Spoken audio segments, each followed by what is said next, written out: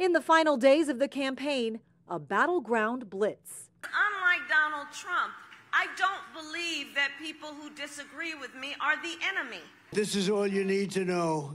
Kamala broke it, and we will fix it, and we're going to fix it fast. Donald Trump and Kamala Harris, with dueling rallies in Milwaukee Friday, spent the weekend making stops in Georgia and North Carolina, with signs of worry there for the Trump team. When you're winning by a lot, you can still lose by a little, and we can't take a chance of losing the great state of North Carolina. An average of recent polls showing Trump ahead in North Carolina and Arizona by four, but down in Wisconsin and Nevada.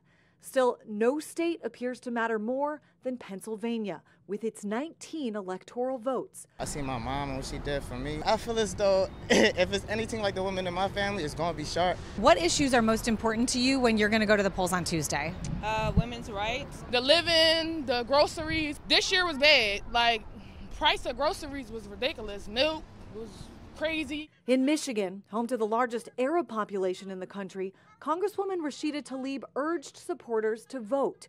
Don't underestimate the power you all have. Still, she remains one of the few Democrats who has not endorsed Harris, with fears that anger over the Biden administration's support for Israel and its war in Gaza could cost Kamala Harris the state as she walks a fine line, trying to win them over, as well as Jewish voters in Pennsylvania. What has happened in Gaza over the past nine months is devastating. I will always stand up for Israel's right to defend itself. A final push from the candidates as voters, especially in swing states, weigh their choices. Half the people I know are on one side, the other half on the other side, and they're all good people.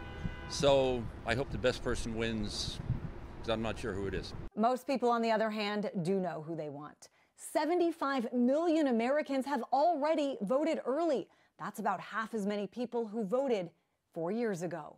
I'm Christine Frizzell for the National News Desk.